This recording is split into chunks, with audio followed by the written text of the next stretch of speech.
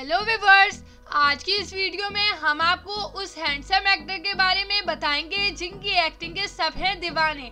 वो और कोई नहीं, वो है अर्शद चोपड़ा। इनका रियल नेम है अर्शद चोपड़ा और निक नेम है अरशद प्रोफेशन से एक्टर और मॉडल हैं। इनका जन्म 17 मई 1983 को हुआ। 2022 के हिसाब से इनकी एज 39 इयर्स है। इन्होंने अपने स्कूल की एजुकेशन प्राइवेट स्कूल से ही कंप्लीट की।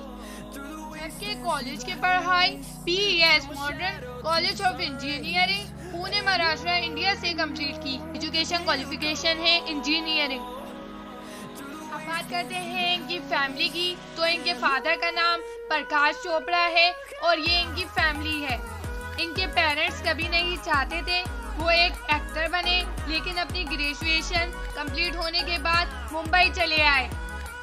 साल 2006 में जी टीवी के सीरियल ममता में करण श्रीवास्तव का रोल प्ले किया।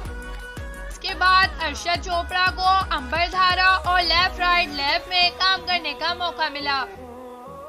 2008 में स्टार प्लस के सीरियल किस देश में है मेरा दिल? में प्रेम जुनेजा का रोल प्ले किया।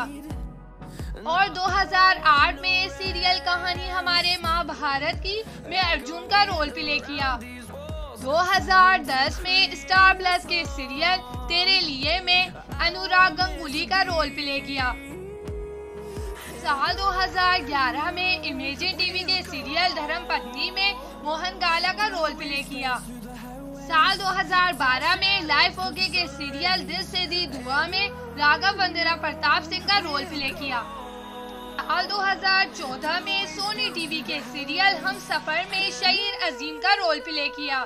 साल 2018 में कलर्स टीवी के सीरियल बेपना में अदित्य हुरा का रोल प्ले किया।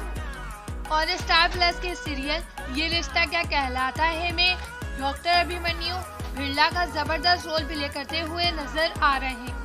अब बात करते हैं इनकी मूवीज़ की। तो ये 2015 में बंगाली फ़िल्म बोंद्रू अमर में जोए का किरदार निभाते हुए नज़र आए और 2017 में फ़िल्म 2016 द एंड में राहुल का किरदार निभा चुके हैं।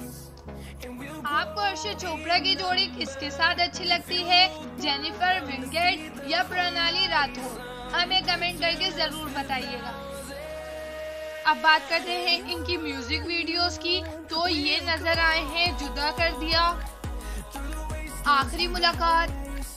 गलत। हम सफ़र। जैसी म्यूज़िक वीडियोस में काम कर चुके हैं।